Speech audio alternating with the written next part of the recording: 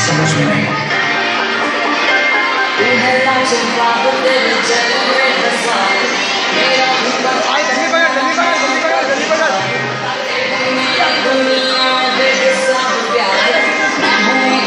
Angel or